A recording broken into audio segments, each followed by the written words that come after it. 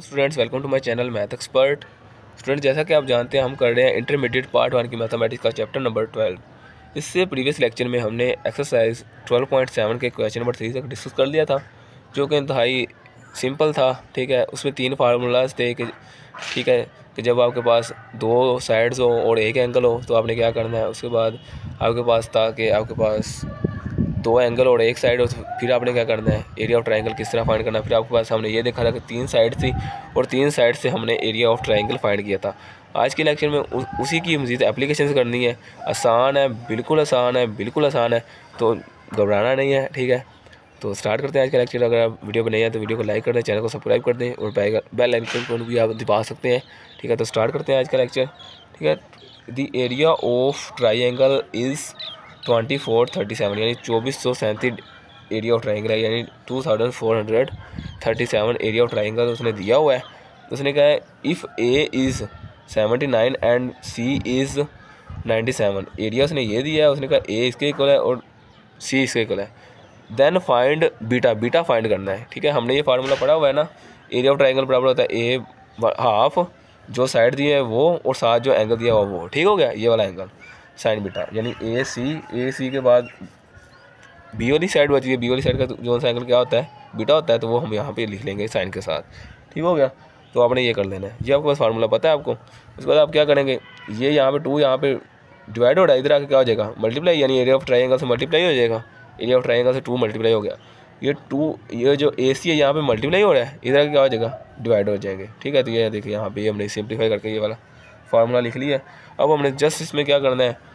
To वैसे ही आ गया area of triangle की हमने दो हज़ार चार सौ सैंतीस पुट कर दिया two thousand four hundred thirty seven और हमारे पास ए की वैल्यू है सेवेंटी नाइन और सी की वैल्यू है नाइन्टी सेवन तो आपने सिंपली पुट की, इसको इससे मल्टीप्लाई किया तो आपके पास आ गया four hundred four thousand eight hundred seventy four उसको मल्टीप्लाई करेंगे, हमारे पास आएगा seventy six hundred sixty three ठीक है?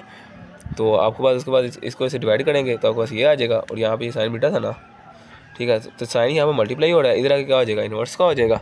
ठीक है, जब इन्वर्स का होगा तो ये हम कैलकुलेटर की स्क्रीन पर साइन इन्वर्स लिख के ये वाला फाइंड करेंगे तो आपके पास ये आ जाएगा। तो आपके पास कोमास वाला बटन दबाएँगे आपका बीटा का आंसर आ जाएगा। तो ये इंपॉर्टेंट क्वेश्चन है शॉर्ट क्वेश्चन के लिहाज से। एम सी भी ये आ जाता है। ये क्वेश्चन भी एम सी में आ जाता है और ये शॉर्ट क्वेश्चन में भी आ जाता है, दो नंबर का। यानी कि इस एक्सरसाइज में एक एम सी कन्फर्म आना और एक शॉर्ट क्वेश्चन कन्फर्म आना है। तो आप अच्छे तरीके से ये कर लीजिएगा। उसके बाद हमारे पास क्वेश्चन नंबर फाइव है। क्वेश्चन नंबर फाइव भी आसान है। पहले पिछले क्वेश्चन में उसने हमें क्या दिया हुआ था? एरिया ऑफ़ ट्राइंगल दिया था और दो साइड दी थी। हमने एंगल फाइंड करना था। इसमें उसने क्या किया होगा? दो एंगल दिए होंगे। एरिया ऑफ़ ट्राइंगल दिया होगा और हमने क्या करना है? एक साइड फाइंड करनी है, ठीक है?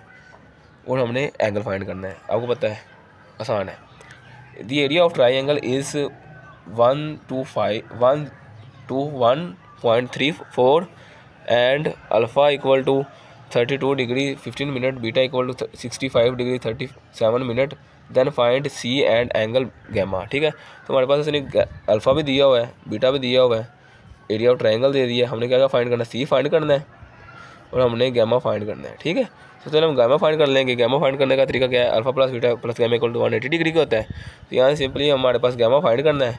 अल्फ़ा और बीटा की वैल्यू हमें दी हुई है, वो उठा के साइड पे ले जाएँगे माइनस की हो जाएँगी। ठीक है तो सिंपली करके हमारे पास गैमा का आंसर आ जाएगा। उसके बाद हमने सी फाइंड करना है। सी फाइंड करने का आसान तरीका है आपको पता है, ये वाला हमने फार्मूला पढ़ा है, जो हमारे पास दो एंगल गिवन हो और एक साइड गिवन हो, हमने सी फाइंड करना है तो ये वाला फार्मूला लगाएँगे। यहाँ से हम रीअरेंज कर लेंगे ये यहाँ पे मल्टीप्लाई डिवाइड हो रहा है, इधर आगे क्या हो जाएगा? ये इधर आ जाएगा मल्टीप्लाई हो जाएगा। ये आ गया देखें to area of triangle sine gamma ये एरिया ऑफ़ ट्राइंगल है, ठीक है एरिया ऑफ़ ट्राइंगल ठीक है। एरिया ऑफ़ ट्राइंगल है, ठीक है? तो ये एरिया ऑफ़ ट्राइंगल है। इसको कुछ और ना समझ लेना डेल्टा नहीं है एरिया ऑफ़ ट्राइंगल है, ठीक है? तो ये इस साइड पे आ गया।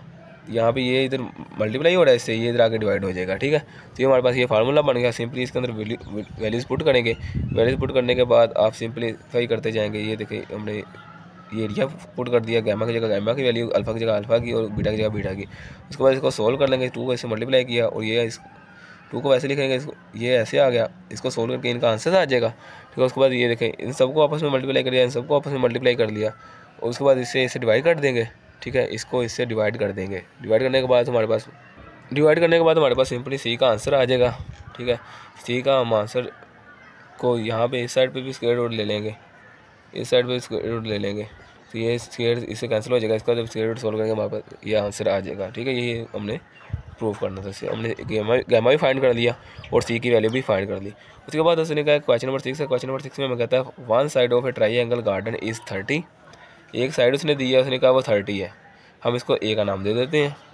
उसने कहा है कि if its two corner angles are ये एक उसने एंगल दे दिया और एक ये एंगल दे दिया। इसको हम बीटा का नाम दे देते हैं क्योंकि हमने ऑपोजिट लेते हैं ना, और इसे हम गैमा का नाम दे देते हैं। ठीक हो गया?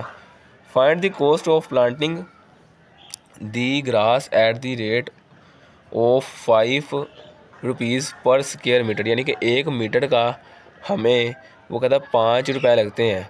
तो इसका एरिया जो ये है ये गार्डन उसने दिया जिसकी हमारे पास ये उसने एक साइड दी हुई और ये एंगल दिए हुए हैं। ठीक है उसने कहा कि ये मतलब एक ये गार्डन है। ठीक है इसकी जो एक मीटर की जो कॉस्ट है ना वो है पाँच रुपये ठीक है तो बताएँ इसका जो टोटल एरिया जितना पूरा में पूरे को में लगाने के लिए ग्रास लगाने के लिए हमारी कितनी ब, कितने पैसे लगेंगे? कितनी हमारी खर्चा आएगा? ठीक है? कितनी कॉस्ट होगी पूरे में ग्रास लगाने के लिए? तो हम सिंपलीफाई क्या करेंगे? हमारे पास ए आ गया, ये बीटा और गैमा आ गए, हम यहाँ से क्या फाइंड कर लेंगे? अल्फ़ा भी फाइंड कर लेंगे, क्योंकि alpha plus beta plus gamma equal to one eighty degree के। यहाँ से हम अल्फ़ा फाइंड कर लेंगे। सिंपली उसके बाद हमारे पास एक साइड है, वो वाला हम फार्मूला लगा लेते हैं एरिया ऑफ़ ट्राइंगल वाला। सबसे पहले एरिया ऑफ़ ट्राइंगल फाइंड कर लेंगे। एरिया आ गया तो उसके बाद हम उसको फाइव से मल्टीप्लाई करके आंसर निकाल लेंगे।